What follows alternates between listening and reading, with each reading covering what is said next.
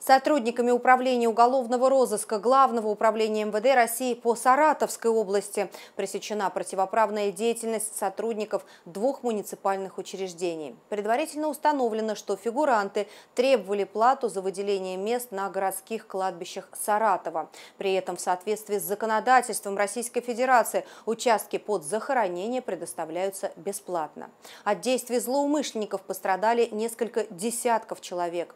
В полицию Саратова Саратова также поступила информация о факте вымогательства.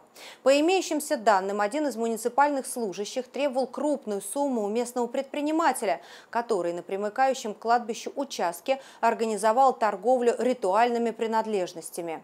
В результате оперативно-розыскных мероприятий оперативники при поддержке спецподразделения Росгвардии задержали шесть сотрудников муниципальных учреждений. По местам их жительства и в офисных помещениях организации проведены обыски.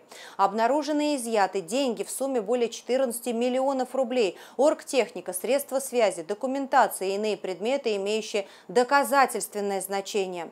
Следователям Главного следственного управления Главного управления МВД России по Саратовской области возбуждены уголовные дела по признакам преступлений, предусмотренных статьями 159 и 163 Уголовного кодекса Российской Федерации. Решается вопрос об избрании в отношении подозреваемых меры пресечения.